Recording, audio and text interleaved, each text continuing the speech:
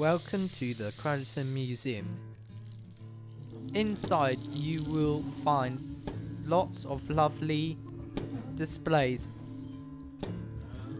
about the local area and its history, including the train exhibit, which used to be hosted in the Crediton Station tea rooms.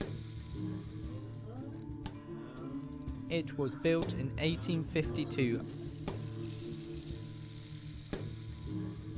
after the Great Fire of Crediton. It used to hold public meetings, performances, and picture shows.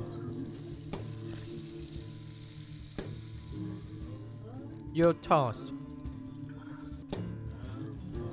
for this topic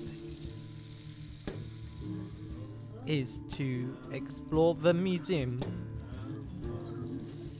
and sketch something you find interesting. Share your sketches on Instagram and hashtag Crediton Trail. We hope you enjoy your visit and learn something new about the area. Can you spot the link to our next stop? Move to the next place, Crediton Square.